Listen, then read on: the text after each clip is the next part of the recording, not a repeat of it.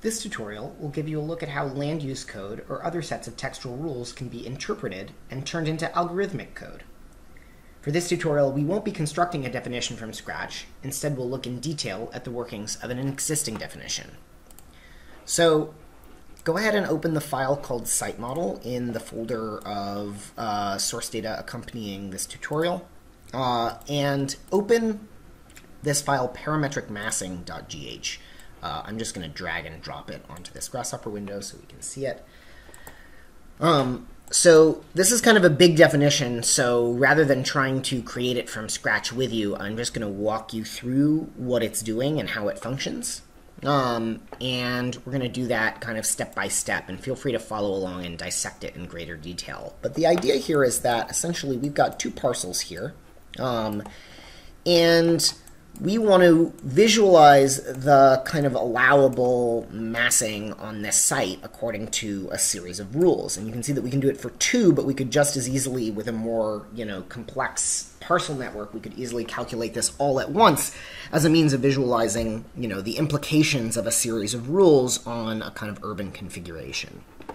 So this is drawn, incidentally, from a, uh, a real project that I worked on, where we were uh, we were developing a project for a client and wanted to visualize all of the possible compliant massings uh, that could be created in this uh, in this site. So, uh, what we're going to do is um, we're going to use uh, this component, the dynamic pipeline, which I showed before in order to grab these purple curves on the site boundaries layer. And I'm going to turn on only draw preview geometry for selected objects so that we can kind of see as we flip through everything that I'm selecting. I want to make sure that these have consistent orientation. So this is another trick that I've shown where if you flip a closed curve with a circle as a guide curve, you can make sure that everything is oriented the same. And we have a couple rules here that we want to apply. Uh, for each portion of a structure above 85 feet in height along a designated green street, an additional setback is required at a rate of one, put, one foot for, of setback for every five feet the height of such portion exceeds 85 feet. So that's basically verbatim taken from land use code in Seattle, but I think there are rules like this in many different municipalities. Um, there's a similar rule over here, which may, is maybe a little simpler. We'll start with this one. For each portion of a structure above 65 feet in height along the street, a setback of 20 feet is required above 65 feet. So we have some curves in the model which represent a street and whoops and a green street over here and those live on their own layers in Rhino. I've got a green street layer and a streets layer. And so I want to find the edges of these parcels which are adjacent to these street conditions. So I'm going to start by just exploding these curves and then evaluating each one of their edges uh, at 0.5 as a way of getting a midpoint. This is reparameterized, so I know that that 0.5 will live there. And then I'm using uh, the dynamic pipeline to retrieve the driving geometry, the streets, uh, which we have here, and using curve closest point to find the points that are closest on the street uh, from each one of these kind of parcel edge centers. And rather than using the points, I'm using the distance and testing whether it's smaller than the value 47. This should seem very familiar relative to some of the prior tutorials. And I'm extracting just those edges of each parcel that are adjacent to a street. With that, we can extend those curves a little bit, and this is sort of a safety measure. Um, I know that down the road we're going to be performing a Boolean operation, and I don't want it to exactly align at the edges, so I'm just expanding it ever so slightly by a value of 10. And then if we read this rule, it applies above 65 feet, and that setback needs to be taken above 65 feet. So we're going to move it up by 65. And then we're going to offset every one of those curves by 20 and negative 20. I'm just taking this value and multiplying it by negative 1 and 1 to get a list of values by which to offset. And so this is going to offset in both directions because you never really know which way a curve is oriented. I mean, you kind of do, but it's I find it safest to offset in both directions. So there's this is actually a gap of 40, but relative to its position on the lot line, it's 20 in both directions. We can then p shift that list because offset always adds a few new layers of hierarchy. We want to have a list of each pair of curves so that we can loft them together. So we wind up with these kind of planar surfaces right where the offset needs to be taken, or the setback rather. And then we can just extrude them up by some large amount. And essentially, these are going to be Boolean objects or, or um, closed polysurfaces that we can use to Boolean out of a kind of initial mass before we start kind of working on the floors and things like that. So that's going to be the approach we'll use to model stepbacks and setbacks is to kind of create a positive uh, volume that represents the kind of negative space of whatever the setback or stepback needs to be. And we're going to do the same thing on this one, which rather than being a sort of straight step back, it is slanted. It goes back five feet, uh, or it goes back uh, one foot for every five feet. So it's a slope of one in five above 85 feet. So most of this is actually exactly the same. We're retrieving our green street curve. We're retrieving the edge that's closest to it or that is within a threshold distance of it. We're moving it up this time by 85. And this time, instead of offsetting in two directions, lofting and extruding, like we did over here, offset, loft, extrude, what we're going to do is move that curve up by 500 feet and then offset it by negative 100 feet. So this is how we're getting our 1 in 5 ratio. So you can see that that curve, there's sort of our original curve and then our other one, and there's sort of a slant applied here. Um, and if we merge these two together, and we have to do another p shift after our offset in order to make sure that the data structures match. We've got 0, 0, 001, 001, so those will merge into lists of 1 or 2. Um, the reason there's a 1 in there is because one of these didn't have any curves that were along a green street. So this parcel doesn't have this rule applied. Um, but we want to preserve its data structure so that everything downstream kind of aligns with which parcel is which. So when we create our loft, we get that kind of step back or setback plane, um, but we get nothing on this parcel. And then uh, we want to find the sort of normal of this surface, and actually this should be like this.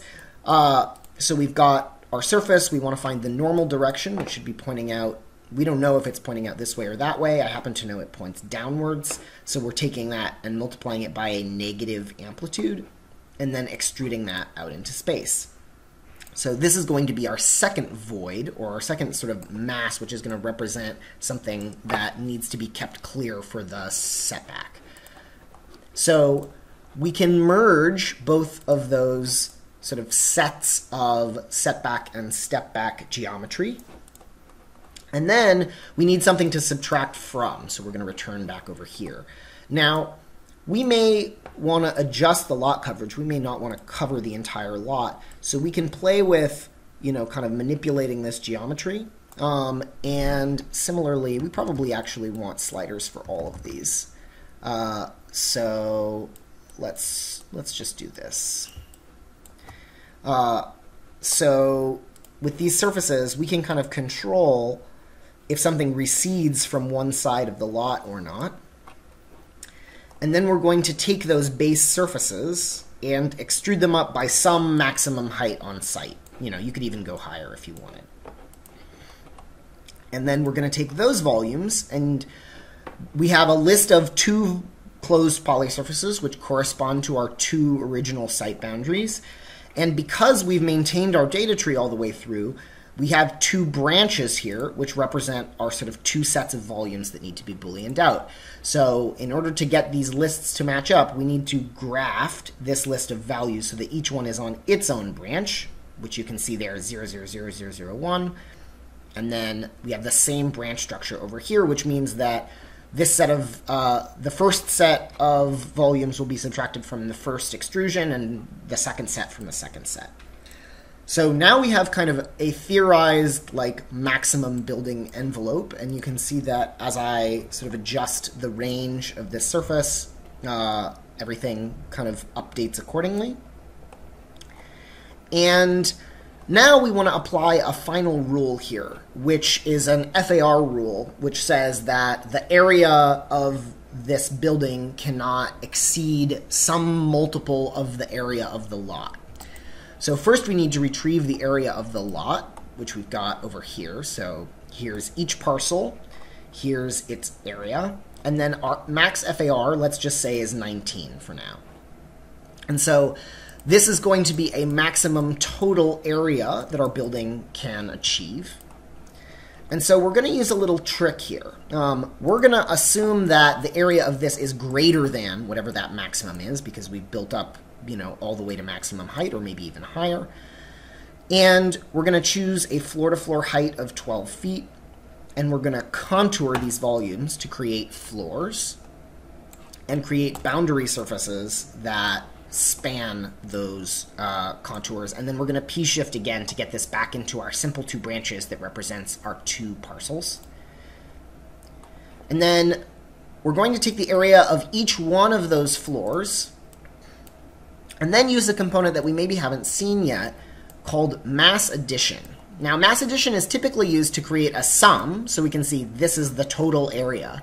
But it has a second output that's actually really useful in this case, called progressive, progressive or partial results. So what this says is, all right, give me A, give me A plus B, give me A plus B plus C, give me A plus B plus C plus D, and so on. So the first value will always be the same as whatever the first value was in here, but it's sort of adding up as you go up. So by going up the building, we're kind of taking the sum, the progressive sum area. So we basically want to say, okay, once this progressive sum exceeds what's allowable, delete all those other floors.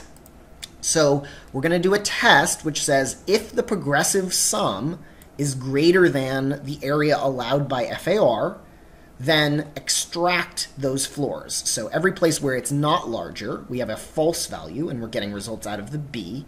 Um, and everywhere it is uh, over, then those floors we really can't build uh, because they're uh, they're just going to be they're going to cause us to exceed that allowable area. So this trims off floors up at the top, and we can then use an extrude component with a z-vector tied in to our floor-to-floor -floor height to get a kind of stacked representation of these volumes.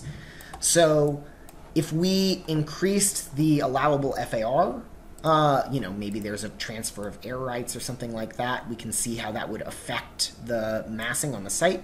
If we change the lot coverage, uh, we can also play with that. So if we cover more of the lot, we can't go as high. Um, and so this is a way to kind of explore the consequences of rules under different conditions. The last thing we do over here is finally, again, take the areas of each one of those floors, get each one of our per floor areas, and then use mass addition again to get a sum for the total area of each building.